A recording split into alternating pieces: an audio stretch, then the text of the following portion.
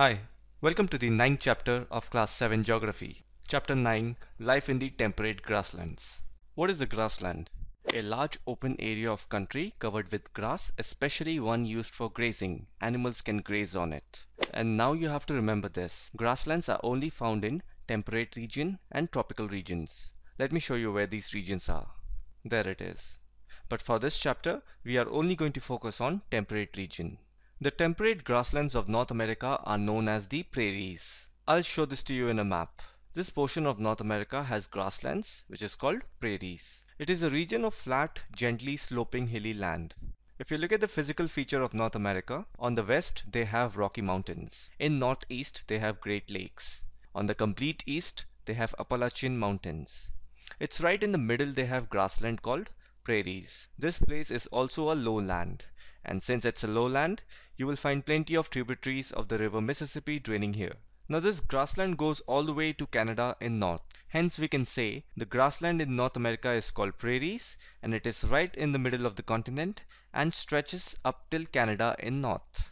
Now let's read about the climate of this place. Since this grassland is located at the middle of the continent, by this we can say that it's in the heart of the continent. So the climate is of continental type with extreme temperatures. So always remember this the places which are near to the coastline will never see any seasonal rhythm of the weather. So they will constantly have humidity and sunshine and rainfall. But it is the interior of the continent or the landmass which will have an extreme temperature, which means they'll have all sorts of seasons that are available. Summer, winter, rainy, everything. So in the interior, there will be a seasonal rhythm of the temperature. And then the annual rainfall in this place is also very moderate, which means not too high, not too less, which is ideal for the growth of grass. That's why this place has good amount of grass and it's called grassland. Due to the absence of the north-south barrier, a local wind Chinook blows here. So earlier we read about the physical feature of North America. There we clearly saw that on the west they have uh, Rocky Mountain, on the east they have Appalachian Mountain. So there is nothing on the north and south. So when there is no natural barrier, wind is bound to blow freely. And with all of this element, this place is an ideal for growing grass. And hence, it's a grassland. Now let's read about the flora and fauna of this place. Since it's a grassland, there'll be no trees over there. So prairies are practically treeless place. But water is available, so you will have some sort of trees like willows, alders and poplars. They're not as big as a banyan tree or other sort of trees which are which are heavily spread out. These are very thin, their bark and stem is very thin.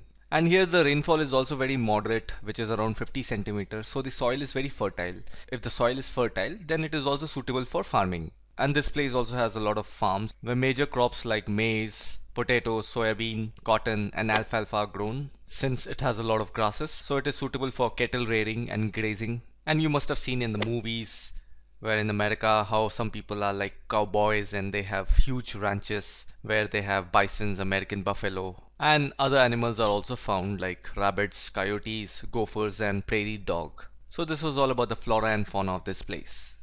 Now let's read about the people of this region. So the people of this region are very hardworking. Since America and Canada is a developed nation, so they have successfully harnessed technology to utilize their natural resources. And since it's a grassland and they have huge number of farms, therefore scientific methods of cultivation, that is the use of tractors, harvesters, have made America a surplus food producer. And the other name given to this grassland prairies is called granaries of the world. So basically they have huge farms, so grains are produced over there. So no wonder it's a granary of the world. And it has a huge surplus production of wheat. So another major industry apart from agriculture is dairy farming. So the dairy farming extends from the Great Lakes that is at the northeast to the Atlantic coast that is deep in the east side. Since dairy farming is an extensive agriculture here, so they have a lot of food processing industries as well. That's why you'll see they have tons of milk products, far more than what we see in our supermarkets. And this central region also has a large mineral deposits, particularly coal and iron. Therefore, uh, these are very crucial and important natural resources. Hence, a good network of roads, railways and canals has to be there because these are required to support industrialization. And that is what is happening in America right now. So this was the people and the business side of this place and also a very important topic in order to understand what is the reason behind the development of this nation. Now we'll read about another type of grassland called the velds. This is a temperate grassland found in South Africa, just below the Tropic of Capricorn. I'll just show it to you in a map. Now remember, anything below the Tropic of Capricorn is a temperate zone in Southern Hemisphere. And in the Northern Hemisphere, anything above Tropic of Cancer is a temperate zone. So this region has a lot of plateaus ranging from 600 meter to 1100 meters. So on the eastern side it has a barrier called the Drakensberg mountain and on the western side you have the Kalahari desert. And the tributaries of the rivers Orange and Limpopo drain in this region. So now let's get to know the climate of this region. So it has a very mild climate because it is next to the Indian Ocean. So winters are cold and dry just like India and the temperature varies from 5 degree to 10 degree Celsius and July is the coldest month. Summers are short and warm and the reason being it's in the temperate zone and the sun rays doesn't fall directly on the surface. Had it been in the equator just like the other African nations it would have been super hot. I mean just look at the temperature of Johannesburg in summer, it's just 20 degrees Celsius. It's an awesome place to go on a holiday. Again, they receive rainfall in the month of November and February, and this is because of the warm ocean currents that washes the shores of the velds. And this place also has the chances of having a drought. So this was all about the climate of the velds. Now let's read about the flora and fauna of this place. The vegetation cover is sparse, meaning thin and scattered.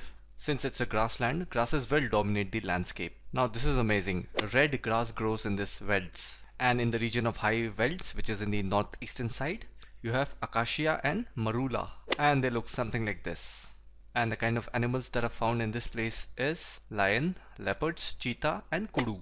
And now let's get to know the people who live in this region of velds. So this place is well known for cattle rearing and mining. Since it's a grassland, cattle rearing is common and mining, we just heard about the city Johannesburg, remember? And that place is world famous for gold and diamond mining. The soils of this region are not very fertile. Again, we just read in the previous topic, the vegetation cover is sparse. So because of this unfertility of land, the grasses are discontinuous, meaning you'll see bare land in between the grassland and whatever the amount of land which is fertile, crops are grown on it. So the main crops that are grown are maize, wheat, barley, oats and potato. Cash crops like tobacco, sugarcane and cotton are also grown. And a very common occupation for the people of this place is sheep rearing and it's mainly for wool and wool industry is very famous in this place. Merino sheep is a popular species and their wool is very warm. So after sheep rearing, dairy farming is the next important occupation. Dairy products like butter, cheese are produced for both domestic as well as outside country. Again, this place is rich in the reserve of minerals like coal and iron